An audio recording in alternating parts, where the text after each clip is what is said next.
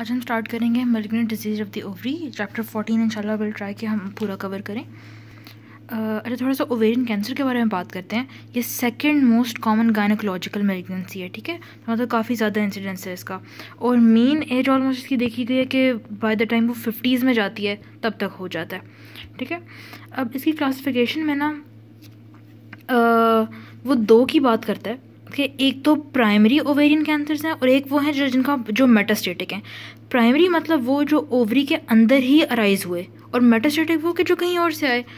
तो जो प्राइमरी हैं, उनके आगे फिर फर्दर थ्री टाइप्स हैं। एपिथेलियल सेक्स कोड स्ट्रोमल और germ cell E S G ठीक है? Epithelial sex stromal germ cell अब जो मेटास्टेटिक है ना उनमें वो स्पेशल मेटास्टेटिक वाले कोलन स्टमक इधर उधर जगहों से आ सकते हैं। उनमें स्पेशल उसने क्रुकनबर्ग ट्यूमर्स की बात की है। क्रुकनबर्ग ट्यूमर उन, उनका नाम होता है जो स्टमक से ओवरी में मेटास्टेसाइज करके आए।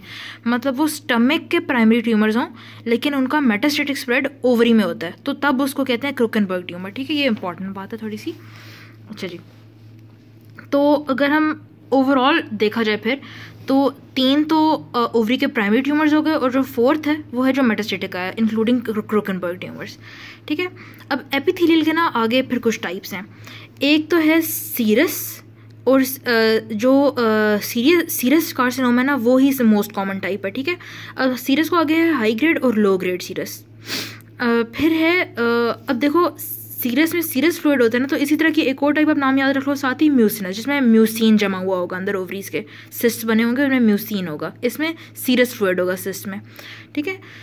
इधर से अब देखो, हमने सीरियस भी भर दिया फ्लूड हमने म्यूसिनस भी भर भर दिया। अब सेल्स को बिल्कुल क्लियर कर दो, बिल्कुल खाली कर दो तो क्लियर सेल वाला। और लास्टली ये है कि बिल्कुल ओवरी जैसा ही नहीं एंडोमीट्रिया यूट्रस जैसा एंडोमीट्रियोइड ठीक है? तो ये हमें कुछ टाइप्स याद हो गई। फिर है सेक्स कोड स्ट्रोमल इसका है G S G granulosa cell सबसे कॉमन ट्यूमर है इसमें। सेरेटोली लिडिक वाला सेरेटोली लिडिक सेल ट्यूमर होता है और गैनैंड्रोब्लास्टोमा होता है। ठीक है? फिर है जर्म सेल ट्यूमर्स इसमें डिसजर्मेनोमा फिर एक yolk sac tumour teratoma choriocarcinoma ठीक है? और एक मिक्स्ड भी है तो इसका नमोनिक बना है सी टी मेड इसका था जी एस जी ठीक है? सी टी मेड से कोरियोकार्सिनोमा टेराटोमा मिक्स्ड एंडो ये एंडोडर्मल साइंस मतलब योग सैक और डिसजर्मिनोमा डिसजर्मिनोमा अगेन सबसे कॉमन और मेटास्टेटिस हमने कवर कर लिया। फिर है एपिथेलियल ट्यूमर्स के बारे में हम बात करेंगे जो फ़र्स्ट कैटेगरी थी। uh, इसके बारे में वो कहता है कि दे में भी बिनाइन मलिग्नेंट या बॉर्डर लाइन अपना जो बॉर्डर लाइन ओवेरियन ट्यूमर्स हैं बी जो हैं uh, इनका मतलब वो है कि अब इन इस ट्यूमर के सेल्स में ना मलिग्नेंसी के कुछ फीचर्स आ रहे होते हैं। जैसे वो न्यूक्लियर प्लियोमॉर्फिज्म होगा मतलब बहुत हाइपरक्रोमैटिक न्यूक्लियर टाइप से होंगे। जो साइटोप्लाज्म होगा वो कम होगा सेलुलर एटीपी है मतलब माइटोटे फिगर्स कुछ बहुत ज़्यादा होंगे उल्टी पुल्टी शेप्स के सेल्स होंगे, ठीक है? लेकिन जो ट्रूली मलिग्नेंट होगा, वो तो बेसमेंट मेम्ब्रेन इन्वेड कर जाएगा ना। ये मलिग्नेंसी के फीचर्स तो शो करते हैं, लेकिन इन्वेड नहीं करते बेसमेंट मेम्ब्रेन को, ये जो बॉट्स होते हैं, ठीक है? बॉर्डर लाइन मतलब आधा बिनाइन है, आधा मलिग्नेंट है बॉर्डर लाइन है, ठीक है? हम्म। वो कहते हैं कि अब ये स्प्रेड तो करते हैं इधर और ऑर्गन्स में, क्योंकि मेलगेंसी के इनके पास फीचर्स थे, लेकिन ना ये अगर आप सर्जरी की करते हो तो ये यूजली ना रिकर नहीं करते मतलब दोबारा नहीं हो जाते। अब मेजॉरिटी जो ये बॉर्डर लाइन ट्यूमर्स हैं ना, ये सीरस होते हैं। हमने बात पहले भी की थी कि पिथीलियल ट्यूमर सबसे कॉमन कौन से हैं? सीरस वाले। ठीक है? अब जो हमने सेकंड कैटेगरी बात की थी म्यूसिनस की। म्यूसिनस के साथ एक इंपॉर्टेंट बात है म्यूसिनस का दूसरा नाम एडिनोकार्सिनोमास भी है। इनके साथ एसोसिएशन होती है बीमारी की, जिसको सूडोमेक्जोमा पेरोटेनाई कहते हैं। इसको ना जेली बेली सिंड्रोम भी कहते हैं, क्योंकि बिल्कुल जेली की तरह हो जाता है। इस इस सिंड्रोम में पूरे में होता है क्या है कि एक एसाइटीज़ होता है एबडोमिना का सोलन हो जाता है और ओवेरियन ट्यूमर होता है। और मेरे ख्याल से एक शायद प्लूरल फ्यूजन थी शायद, लेकिन उसके बारे में मुझे क्लियर नहीं है। ठीक है? तो म्यूसिनस के साथ होता है pseudomyxoma peritonei M C Q very important serous के साथ नहीं होता. ओवरऑल सीरस सबसे ज़्यादा कॉमन है. म्यूसिनस के साथ होता है सोडामिक्सोमा पेरोटोनाई अब हम कवर करते हैं हाईग्रेड सीरस कार्सिनोमास सीरियस वालों की भी हम स्पेशल बात करेंगे. अब ना इनमें जो हाई ग्रेड वाले हैं, उनकी एक स्पेशल कैरेक्टरिस्टिक है कि इनमें आपको नज़र आती हैं कंसेंट्रिक रिंग्स कैल्सिफिकेशन की. मतलब ऐसी ऐसी जो भी चीज़ होती है जो सर्कल अंदर अंदर जाते जाते जाते उसको कहते हैं कंसेंट्रिक कैल्सिफिकेशन की आपको ऐसी रिंग्स नज़र आती हैं, अंदर फुल कैल्शियम के डिपॉजिट्स होंगे, इनको कहते हैं समोमा बॉडीज़ तो मतलब समोमा बॉडीज़ किसका कैरेक्टरिस्टिक हुआ? सीरस का, और सीरस ओवरऑल मोस्ट कॉमन है. म्यूसिनस का हमने ऑलरेडी बात कर लिया कि इसमें होता है सीडोमेक्सोमा पेरोटिनाई एंड इसमें ना ये पूरी ओवरी ना तो अंदर लोकुलेशंस बनी होती हैं। अंदर थोड़े मतलब डिस्टिंक्ट डिस्टिंक्ट से एरियाज़ होते हैं, गुच्छे होते हैं ग्रेप्स की तरह के, जिसके अंदर म्यूसिन भरा होता है, ठीक है? एक एक ऐसे के साथ म्यूसिन होगा, ठीक है? अब हम बात करते हैं एंडोमीट्रियोइड की। अच्छा एंडोमीट्रियोइड वाली जो टाइप है ना, उसकी है कि उसके ओवरी की तरह के सेल्स नहीं होते, उसके एंडोमीट्रियम यूट्रस के तरह के उसके सेल्स होते हैं इस ट्यूमर के? और ये यूजली तब होता है जब ओवरी के अंदर एंडोमीट्रियोसिस ना हो गया हो। और एंडोमीट्रियोसिस क्या होता है कि एंडोमीट्रियम का टिश्यू कहीं और जाके इम्प्लांट हो जाए, ठीक है? Ectopic endometrial tissue is called endometriosis तो जब ओवरी में एंडोमीट्रियो एंडोमीट्रियम का टिश्यू इम्प्लांट हो जाए आके गलती से, कोई ऐसी बीमारी हो एंडोमीट्रियोसिस में जैसे तो उस उस एंडो मतलब समझ आ रही है ना? कि ये रही ओवरी अब ओवरी में सपोज़ एंडोमीट्रियोसिस हुआ हुआ है ठीक है? मतलब ओवरी में आके एंडोमीट्रियम का टिश्यू इम्प्लांट हुआ हुआ। है ये जो एंडोमीट्रियोसिस का एरिया है ना, इसके अंदर डेवलप हो जाता है एंडोमीट्रियोइड कार्सिनोमा ठीक है? जो कि ओवेरियन कार्सिनोमा है, ठीक है?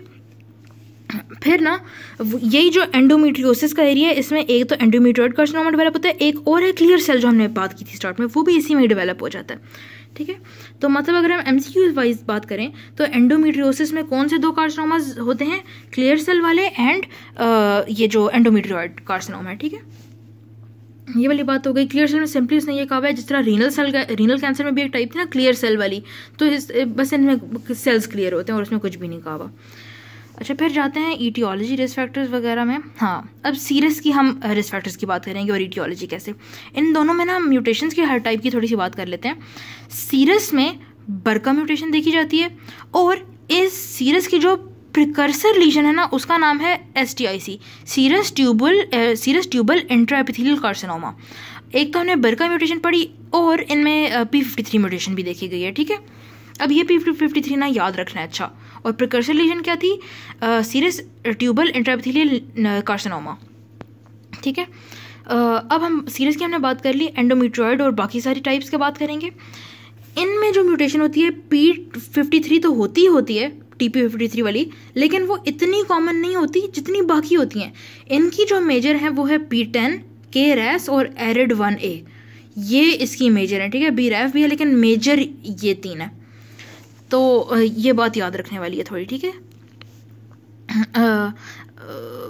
बरका वो यही कहता है ना ऑलरेडी बात कर ली कि सीरस में होता था इसमें इतना मेजर बरका म्यूटेशन नहीं एसोसिएटेड फिर थोड़े से जेनेटिव फैक्टर्स हैं वही कि बरका वन बरका टू और एक और सिंड्रोम है लेंच सिंड्रोम इसमें मेरे ख्याल से कोलोरेक्टल कैंसर भी होता है ठीक है? तो इन वाली बंदियों को ना ओवेरियन कैंसर ज़्यादा होगा। अब वो आ, बरका से एसोसिएटेड एक, एक बीमारी की बात करता है ब्रेस्ट ओवेरियन कैंसर सिंड्रोम इस सिंड्रोम में ना जो वन टू की म्यूटेशन होती है बरका वन टू की म्यूटेशन और इनको ब्रेस्ट कैंसर भी होता है ओवेरियन कैंसर भी होता है।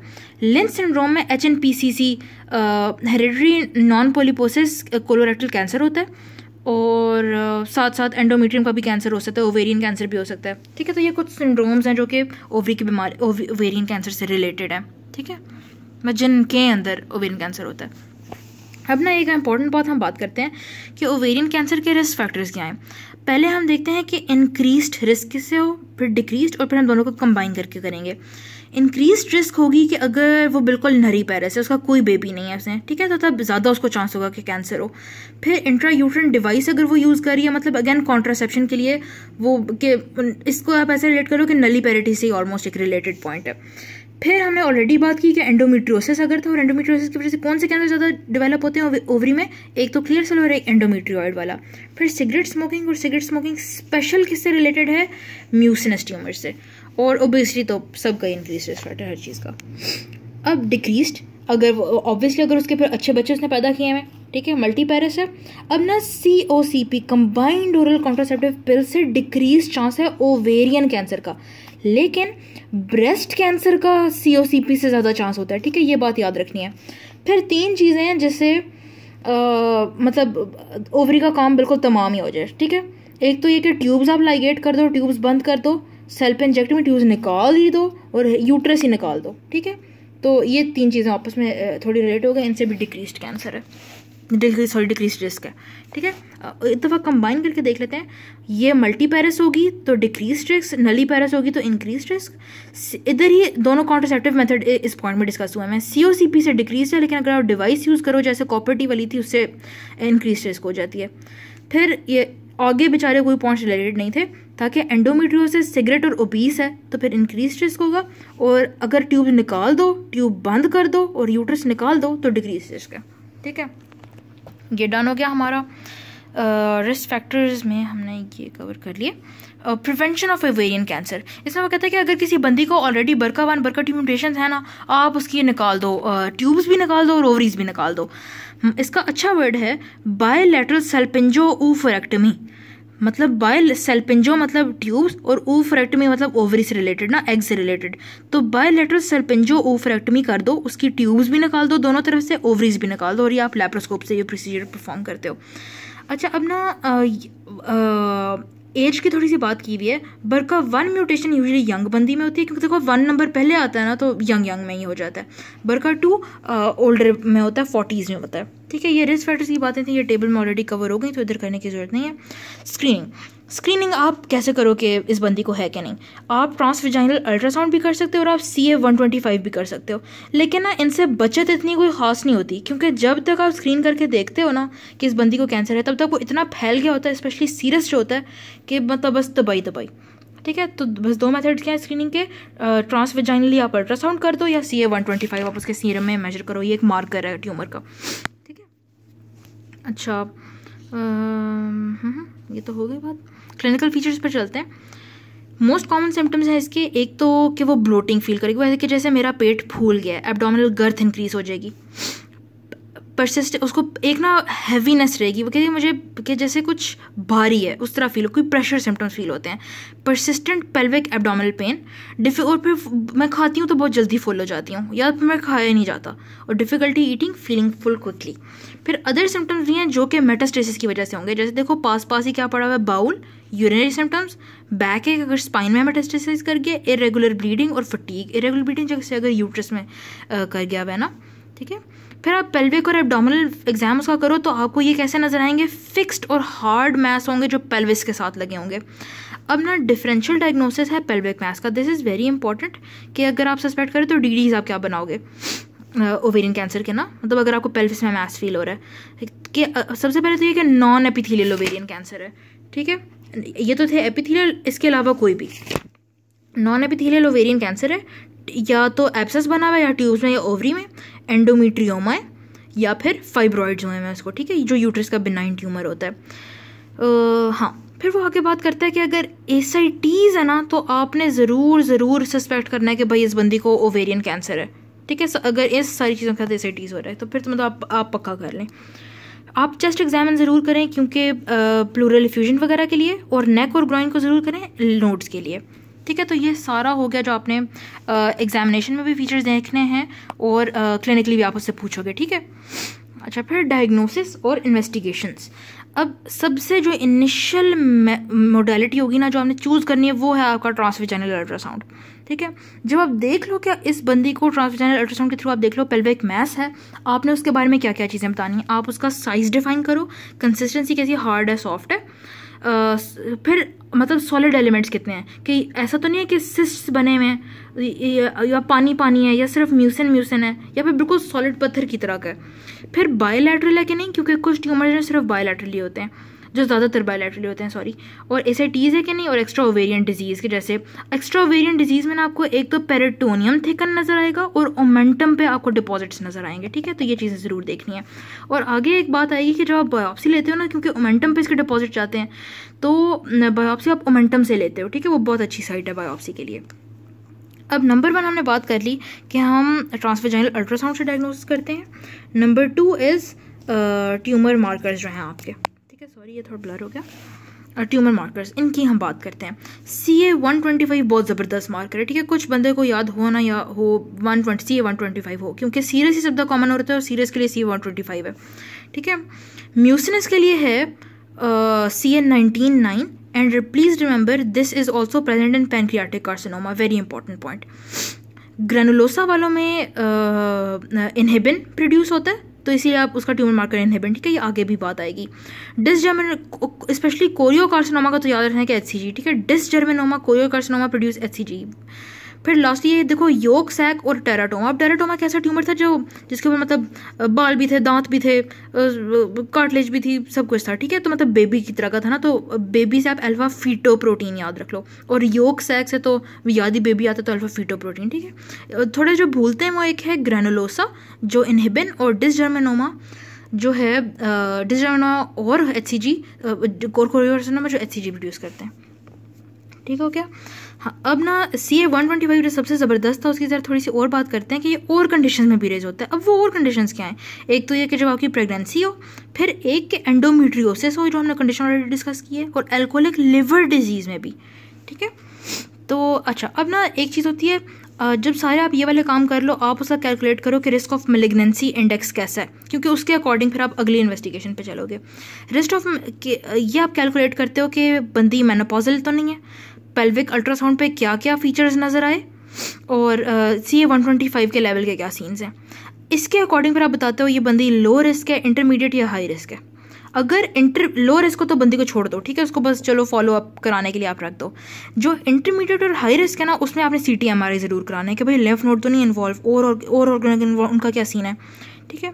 फिर कुछ इन्वेस्टिगेशन हैं जो आप प्री ऑप ऑपरेशन से पहले वर्कअप के लिए कराओगे, ये ज़रा इनकी रीडिंग ज़रूर देख लेनी है, ठीक है? ये सारी वही बेस लाइन्स हैं इनमें डू एड है B C and kidney function test ठीक है? अच्छा अब वो एंड पे कहता है कि अब जिन बंदियों को आप कीमोथेरेपी नहीं दे सकते ना, उसने बड़ी रैंडम सी बात की हुई है ट्रीटमेंट जबकि आगे आ रही है। जिन बंदियों को आप कीमोथेरेपी नहीं दे सकते या फिर जिनकी सर्जरी नहीं हो सकती तो उनके लिए आपने ना ट्रीटमेंट से पहले बायोप्सी ज़रूर करानी है, ठीक है? अब ये बायोप्सी आप कराते हो ओमेंटम से, जो हमने बात की थी इधर कहीं पे, ठीक है? आप ना ये बायोप्सी लोगे ओमेंटम से और this biopsy is done under ultrasound या फिर सीटी गाइडेड बायोप्सी आप कराते हो, ठीक है? ताकि जस्ट टू बी श्योर कि हाँ इस बंदी को वाकई मेलेगनेट डिज़ीज़ है, ठीक है? हाँ। फिर हम चलते हैं जो ओवरी की फीगो स्टेजिंग है और दिस इज़ वेरी इंपॉर्टेंट ठीक है? सिमिलरली uh, हमने जब सर्वाइकल कार्सिनोमा किया था उसमें भी फीगो स्टेजिंग की थी। This staging is very important stage one two three four हम कवर करेंगे। वन में it is only confined to the ovaries two में पेल्विस थ्री एब्डोमिनल पेरिटोनियम या फिर रेट्रोपेरिटोनियल और इंग्वाइनल लिम्फ नोड्स ठीक है? आहिस्ता आहिस्ता बढ़ जाए और four is always distant metastasis अब हम बात करते हैं कि जब वो सिर्फ़ ओवरीज तक है। ओवरीज में सिर्फ़ वन ए बी और सी टू में भी ए बी सी था थ्री में भी, लेकिन फोर में कुछ भी नहीं है, ठीक है? अब जो फिर से बात करते हैं ट्यूमर वन जो सिर्फ़ कन्फाइंड टू ओवरी है स्टेज वन वन ए के सिर्फ़ एक ओवरी तक है स्टेज टू है कि दोनों ओवरीज में है। अब इनके दोनों के साथ एक बात लिखी हुई है, वो है कि ट्यूमर के एक्सटर्नली ना सॉरी ओवरी के एक्सटर्नली ना कोई ट्यूमर नहीं आया। ओवरी का कैप्सूल भी इंटैक्ट है और एसाइटीज भी नहीं है उस बंदी को। इन दोनों में ये बात है, ठीक है? जो सी वाली है ना, वो बेशक वन ए हो या वन बी हो, लेकिन अब ट्यूमर बाहर हो मतलब ट्यूमर ओवरी के सरफेस पे आ गया हो कैप्सूल रप्चर हो गया हो और एसाइटीज बी हो। और उस एसाइटिक फ्लूड में जो, उस एसाइटिक फ्लूड को जो एग्जामिन करो तो उसमें ट्यूमर सेल्स आ रहे हो। ठीक है? मतलब इन दोनों के ये जो तीन पॉइंट्स थे, तीनों ऑपोजिट हो गए। फिर हम चलते हैं स्टेज टू पे, जो कि है, अब ओवरी से बाहर थोड़ा सा जाते हैं पेल्विस पे जाते हैं। टू ए में है कि यूट्रोसो ट्यूब्स तक है टू बी में पेल्विक अदर ऑर्गन्स जो थे मतलब जैसे कोलन आप कर लो ब्लैडर आप करो। फिर टू सी इज़ कि बेशक ए हो या बी हो, लेकिन वही बात कि ट्यूमर अब ओवरी के सरफेस पे भी हो बंदी को एस भी हो और ओवरी का कैप्सूल भी रप्चर हो गया हो। वही तीनों बातें जो हमने इधर देखी थी। ठीक है? स्टेज थ्री पे चलते हैं। अब पेल्विस से भी बाहर चले जाओ, आप जाओ एबडोमिन पे। एबडोमिनल पेरेटोनियम और रेट्रोपेरिटोनियल ग्वानल लिम्फ नोड्स भी ठीक है? तो इन्वॉल्व है। स्टेज थ्री ए इज़ के आपको जो आँखों से नज़र आ रहा है ना, आँखों से आपको नज़र आ रहा है कि सिर्फ़ वो पेल्विस में है जो ग्रॉस उसकी कि यार ये तो सिर्फ़, लेकिन जो माइक्रोस्कोपिकली जब आप देखोगे ना तो पेरिटोनियम में इम्प्लांट्स हैं, आपको नज़र नहीं आ रहे, लेकिन जब आप बायोप्सी शॉप्सी कराओगे तो उस पर आपको रिज़ल्ट नज़र आएगा कि भाई इधर तो इम्प्लांट्स हैं। टू बी इज़ कि अब आपको ग्रॉसली इम्प्लांट्स नज़र आ रहे हैं एबडामन में, लेकिन they are less than two centimetre two C is कि ग्रेटर देन टू सेंटीमीटर के आपको इम्प्लांट्स नज़र आ रहे हैं, और रेट्रोपेरिटोनियल इंगोनल लिम्फ नोड्स भी अब पॉजिटिव हैं। इन दो में दोनों नेगेटिव थे लिम्फ नोड्स ठीक है? और C sorry four is always distant metastasis लेकिन आपने ये तुक्के पे नहीं कह देना you must have a positive cytology जब आप प्लूरल रिफ्यूजन कराओ या फिर लिवर पैरन का इमा देखो तो आपके पास पॉजिटिव साइटोलॉजी के रिजल्ट्स हों। पैथोलॉजी हमको कहा हो कि डिस्टेंट मेटास्टेसिस हैं, ठीक है? फिर हम बात करते हैं सर्जरी की। अच्छा सर्जरी में ना आपने बंदी को देनी है एक वर्टिकल इंसिजन और इस सर्जरी का ना नाम है सुपरा रेडिक अभी जो हम पढ़ेंगे supra radical ovarian cancer surgery supra radical ठीक है? अब इस सुपरा रेडिकल में क्या क्या आप रिमूव कर रहे हो? आप जाओगे वर्टिकल इंसिजन से, ठीक है? और तीन आपने बेसिकली प्रोसीजर्स करने हैं। एक तो abdominal hysterectomy you will take out the uterus bilateral salpingo oophorectomy ट्यूबें भी ओवरीज भी निकाल देनी है और लास्टली ओमेंटम जहाँ पे डिपॉजिट थे, आप वो भी निकाल दो। फिर अगर और कुछ इन्वॉल्व स्प्लीन वगैरह पेरिटोनियम बाउल वो भी आपने निकाल देना और लिम्फ नोट सॉरी इसको नंबर फोर कर लेते हैं। लिम्फ नोट तो रिमूव करने करने हैं। अब वो कहते हैं कि फिर जो एसाइटिक फ्लूड था और जो पेरिटोनियम को जो आपने वॉश किया ना, आप वो उसको सैंपल ज़रूर ले लें ताकि आप एग्जामिन कर लेना उसको पैथोलॉजिस्ट को भेजने के लिए। ठीक है? अब वो कहते हैं देखो इस बंदी की तो अब फर्टिलिटी बिल्कुल भी ना बची। ठीक है इसका यूट्रस गया इसकी ओवरियाँ शोवरियाँ गई ट्यूबें गई सब कुछ चला गया। अब वो यंग बंदी जो कहती है कि भाई मेरी फर्टिलिटी आप रहने दें।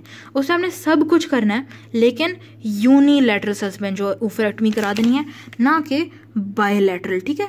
सिर्फ़ एक तरफ़ उसकी ओवरी और ट्यूबें निकाल दो। आ, आ, बाकी दूसरी तरफ़ पे रखो ठीक है? बाकी everything is the same lastly ये है कि जब आप उसको कीमो शीमो दे लो ना आपने एक सेकंड लुक सर्जरी करनी है। सेकंड लुक सर्जरी क्या होती है कि कीमो के एंड पे आप एक लेप्रोटमी कराते हो कि भाई कुछ रह तो नहीं गया।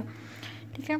अब ना यस सर्जरी आप आ, सर्जरी ना आप इन कॉम्बिनेशन विद कीमोथेरेपी देते हो ये हम आगे भी बात करेंगे। और chemotherapy is always done with platinum based compounds platinum based compounds हम देखेंगे कि कौन कौन से यूज़ होते हैं। सर्जरी का एम क्या है कि आपने इतना ट्यूमर काट देना है कि जो मैक्रोस्कोपिक डिज़ीज़ है वो लेस देन वन सेंटीमीटर तक बचे। ठीक है? एम आपका लेस देन वन सेंटीमीटर होगा तो ये एमसीक्यू के लिहाज से हमें पता हो। आ, मतलब बिल्कुल ज़ीरो नहीं है ठीक है? लेस देन वन सेंटीमीटर है। अब chemotherapy we already talk about this के हम प्लेटिनम बेस्ड कंपाउंड से करेंगे। पहला कंपाउंड जिसका ज़िक्र आया हुआ दैट इज़ पैक्लीटैक्सिल और आप छः साइकिल्स लगाते हो तीन तीन हफ्तों बाद। ठीक है? अब आ, हम बात करते हैं जो प्लेटिनम बेस्ड कंपाउंड्स हैं इनके बारे में क्या है। अब ना ये डीएनए को ऐसे ख़राब करते हैं कि डीएनए में ऐसी क्रॉस लिंकेजेस करा देते हैं गलत गलत जग, गलत गलत जगहों पे कि उसमें आ, आ, सेल रेप्लिकेशन ही अरेस्ट हो जाती है। ठीक है, जैसे था ना कि इधर एडनिन थी और ग्वानिन ठीक है तो मतलब गलत एडनिन और ग्वानिन पे तो बॉन्ड बनती ही नहीं है। एडनिन और थायमिन पे बनती है। तो जैसे गलत गलत जगह पे बन गई ना तो सेल रेप्लिकेशन फिर होती ही नहीं और सेल मर जाता है। ठीक है? और कार्बोप्लेटिन भी एक कंपाउंड है जो यूज़ होता है। अब ना पैक्लीटैक्सल के बारे में वो बात करता है कि पैसिफिक यू एक दरख्त है, उसकी बार्क से ही ऑब्टेन होता है। माइक्रोटिब्यूल्स को अफेक्ट करता है। माइक्रोटिब्यूल्स ही गई तो सेल रेप्लिकेट कैसे करेगा? तो फिर मर जाएगा। अब ना इन सारों से पहले आप उस बंदी को ज़रा स्टेरॉइड्स दे देते हो। क्यों? क्योंकि इनसे होते हैं बड़े तबाही किस्म के इफ़ेक्ट स्पेशली पैक्लीटॉक्सल से। क्या क्या होते हैं? Peripheral neuropathy neutropenia muscle pains होंगे, इसको मायालजिया और ये सारे इफेक्ट्स हैं डोज डिपेंडेंट एक डोज है जो ए, एक साइड इफ़ेक्ट है जो इरिस्पेक्टिव वो डोज है कि मतलब जितना जितना मर्ज़ी डोज लगाओ उस साइड इफ़ेक्ट ने होना ही होना है। वो कौन सा है कि उसके बॉडी हेयर पूरे लॉस हो जाते हैं। ठीक है? फिर एक कंपाउंड है बेवाजीसुमैब ये है वेगफ इन वेगफ इनहिबिटर है। ठीक है? करता क्या है कि अब देखो, हर ट्यूमर को चाहिए होती हैं ज़्यादा सारी ब्लड वेसल्स मतलब उसको ज़्यादा सारा एंजियोजेनेसिस चाहिए होता है। तो ये फैक्टर एंजियोजेनेसिस इनहिबिट कर देता है। वेसल वेसल नहीं बनते बनने देता, जो कि ट्यूमर को जाके न्यूट्रिशन प्रोवाइड कर सकें। अब इस बेचारे के भी साइड इफ़ेक्ट्स हैं। वो हैं गैस्ट्रो इसके ज़्यादा पेट से रिलेटेड होते हैं। ये पॉपुलर है पेट के इफेक्ट्स के लिए। Gastrointestinal perforation hypertension wound healing delay हो जाती है और थ्रोम्बो एम्बोलिक इवेंट्स भी ज़्यादा हैं। ठीक है? अच्छा जी। आ, अब हम बात करते हैं प्राइमरी पेरिटोनियल कार्सिनोमा यार ये सिंपली ना अगर सीरियस कार्सिनोमा बहुत सीरियस हो जाए ना तो उसको कहते हैं प्राइमरी पेरिटोनियल कार्सिनोमा मतलब अगर सीरियस कार्सिनोमा बहुत सीरियस होके पेरिटोनियम में पहुँच जाए तो उसका ये नाम हो जाता है। ठीक है? अब इसके बारे में थोड़ी सी बातें हैं कि ये तीन चीज़ें आप पक्की करो इसको डायग्नोस करने से पहले। एक तो ये कि थोड़ी सी बल्कि ओवरीज होंगी। हाँ फिर ओवरीज में कम डिज़ीज़ होगा और एक्स्ट्रा ओवेरियन डिज़ीज़ ज़्यादा होगा। और बस आपको पेरिटोनियम में नज़र आ रहा होगा, ठीक है? ये बेचारा थोड़ा फजूल सही था। फिर एक है प्रोग्नोस्टिक कि बंदी का ठीक होने का चांस आप कैसे देखोगे? ओवेरियन कैंसर अगर उसको है, आप स्टेज वाइज देखोगे। फिर सर्जरी के बाद जो वॉल्यूम डिज़ीज़ का बच गया, वो देखो। आप हिस्टोलॉजिकल टाइप देखो और लास्टली आप देखो कि बंदी की एज कैसी है। यंग होगी तो बच जाएगी। ठीक है? अब हम बात करते हैं सेक्स कोड स्ट्रोमल ट्यूमर्स इससे पहले ना हमें एक कॉन्सेप्ट चाहिए कि फंक्शनल ट्यूमर्स क्या होते हैं? फंक्शनल फंक्शनल ट्यूमर्स वो होते हैं जो कि कोई चीज़ रिलीज़ कर रहे हो, कोई हार्मोन वगैरह प्रोड्यूस कर रहे हो। ठीक है? मतलब उनके अंदर से कुछ निकल रहा हो। कोई बेशक प्रोटीन शोटीन, कोई कुछ ये प्रोड्यूस कर रहे हो। अब हमने अभी तक तो ऐसी कोई बात नहीं की ना कि सीरस या म्यूसनस ट्यूमर फलानी चीज़ प्रोड्यूस करते हैं, ठीक है? तो अब ओवरऑल तो सबसे कॉमन एपिथीलियल वाले थे और एपिथीलियल स्पेशली कौन सा? सीरस सेक्स कोड वाले ना ओवरऑल तो सिर्फ़ दस परसेंट ही है मतलब ओवरऑल इनकी परसेंटेज कम है, लेकिन फंक्शनल ट्यूमर्स में ये नाइन्टी परसेंट है। मतलब जो सीरियस म्यूसिनस वगैरह तो कोई हार्मोन नहीं प्रोड्यूस ये लोग हार्मोन प्रोड्यूस करते हैं। ठीक है? अब कौन कौन सा oestrogen is produced by granulosa theca या फिर सेरेटोलियल सेल ट्यूमर्स और जो एंड्रोजन है, वो एंड्रोजन का ऐसे कर लो कि ऐस कर लो ना तो एंड्रोजन प्रोड्यूसिंग कौन है? सेरेटोलियल लेडिक सेल और जो सेरेटोली उधर भी थे और स्टेरॉयड सेल ठीक है? ट्यूमर से ही प्रोड्यूस होता है। अब इन सारे में क्या होंगे? बंदों वाले इफ़ेक्ट होंगे। अब बंदों एक थोड़ा है कि प्रिकॉशंस क्योंकि प्यूबर्टी पहले आ जाती है। पेंस्ट्रल ब्लीडिंग नॉर्मल एबनॉर्मल होती है। और एंडोमीट्रियल कैंसर भी इन लोगों में ज़्यादा होता है। ठीक है? अगेन एस्ट्रोजन और एंड्रोजेंस जो बंदों वाले हार्मोन होते हैं, ये ज़्यादा प्रोड्यूस होते हैं। और कौन सा ट्यूमर कौन सा प्रोड्यूस करेगा? जो ग्रेनुलोसा थीका या सेरोटोली वाले हैं, वो प्रोड्यूस करेंगे एस्ट्रोजन और सेरेटोली स्टेरॉयड वाले प्रोड्यूस करेंगे एंड्रोजन्स ठीक है? अच्छा हाँ ओवरऑल हमने इधर बात नहीं की थी कि सेक्स कोड में सबसे कॉमन ग्रेनुलोसा वाले हैं और जर्न सेल में आ, आगे बात करेंगे डिसजर्मिनोल सबसे कॉमन है ठीक है? Blah blah blah blah blah ओ ये तो पुराना हाँ। अच्छा जी। अब हम बात करते हैं क्लिनिकल फीचर्स की। वो सारे बंदों वाले हैं, कि वेरिलाइजेशन मतलब बंदों वाले सिम्टम्स ए मेनोरिया डीप और हिस्टोटिज्म मतलब मुँह वगैरह पे बाल आ जाएँगे और ऐसी ऐसी चीज़ें। हेयर ग्रोथ ज़्यादा हो जाएगी बेसिकली फिर ना, ये लोग एस्ट्रोजन और हमने बात की एंड्रोजन ज़्यादा प्रोड्यूस तो करते ही हैं, लेकिन दे में ऑल्सो प्रोड्यूस रेनन कभी कभी जिसकी वजह से हाइपर हो जाती है। अब ना प्लीज़ रिमेंबर के दे आर यूजली यूनिलैटरल ठीक है? जो सी, जो थे ना हमने पढ़े थे सीरस वाले, वो यूजली बायोलैटरल होते हैं, ठीक है? ये वाले यूनिलैटरल होते हैं सेक्स कोड वाले ट्रीटमेंट वही सेल पेंजोफरेक्टमी है, ठीक है? जर्म सेल वाले जर्म सेल वाले के बारे में एक बात याद रखनी है यंग वेमेन यंग पेशेंट होगी इसमें, ठीक है? इसका जो सिनेरियो होगा वो ये यंग बंदी है और प्रेजेंट्स विद ओवेरियन मैस है पेल्विस में, ठीक है? ओवेरियन मतलब पेल्विक मैस उसको फील हो रहा है यंग बंदी को वेरी इंपॉर्टेंट बात। अब ये अराइज कैसे करते हैं? अब देखो, हमारे हर जगह ओवरी में ना, और हमारे और ऑर्गन्स में भी एक सेल्स होते हैं प्राइमोडियल जर्म सेल्स मतलब ऐसे सेल्स जो किसी चीज़ में भी ट्रांसफॉर्म कर सकते हैं, ठीक है? अब ये ना इनएक्टिव बन के रहते हैं। अब कभी कभी ना ऐसे हो जा हो सकता है कि ये कहें कि आज तो हम ऐसे करेंगे कि हम कोई ना मेलिग्नेंट सेल्स गंदे से सेल्स बन जाएँगे तो बई मचा देंगे ठीक है तो प्राइमोडियल जर्म सेल्स की वजह से ये ट्यूमर होता है ओके uh, okay. जो यही बात होगी डिस्टर्मिनोमस मोस्ट कॉमन है। हमने ऑलरेडी बात की हुई है कि क्या सिक्रीट करते हैं? एचसीजी और कोरियोकार्सिनोमा भी एच सिक्रीट करता है। योग सैक वाले क्या करते थे? अल्फ़ा फीटो प्रोटीन अब डिसजर्मिनोमा और योग सैक में थोड़ा फ़र्क है। Dysgerminoma is always bilateral yolk sac is unilateral मतलब सेक्स कोड वाला और योग सैक वाला यूनिलैटरल हो गए, और डिसजर्मिनोमा हो गया बायोलैटरल ठीक है? अच्छा फिर हैं टेराटोमास टेराटोमा का नाम बताते हो कि मेचोर है या इमेच्योर है? इसको ऐसी क्लासिफिकेशन होती है. और मेचोर है कि या या इमेच्योर है, या बताते हो न्यूरल टिश्यू के हिसाब से. ठीक है, ये हमारे पैथो में मॉड्यूल में एम एमसीक्यू आया था कि किस बेसिस पे आप कहते हो कि टेराटोमा मेच्योर है या मेच्योर तो पता कि न्यूरल टिश्यू कितना उसमें प्रेजेंट है, ठीक है? और टेराटोमास क्या सीक्रेट करते हैं? A F P alpha fetoprotein अब ना अल्फ़ा टेराटोमास के बारे में उसने एक बात लिखी भी है कि ये कभी कभी ना, अब ये पूरा टेराटोमा है ना ठीक है? इसके अंदर ओ, हर तरह के सेल्स है कार्टलेज के भी फलाना फलाना हर हर कोई। तो मेच्योर टेराटोमा में कभी कभी ऐसे होता है कि एक साइड डिसाइड करके भाई मैं तो टेराटोमा बन के खुश नहीं हूँ मैं कुछ और बनाऊँगा। तो तो ऐसा जो कुछ और बनता है ना वो यूजली यूजली इसको मसल कार्सिनोमा बनता है ठीक है? मतलब एक टेराटोमा से और कैंसर्स भी अराइज हो सकते हैं। और डन हो गया ये चैप्टर ठीक है? प्लीज़ डू रीड इसके क्लिनिकल फीचर्स और ट्रीटमेंट ठीक है? तो ये हमारा within thirty minutes almost ये चैप्टर डन हो गया।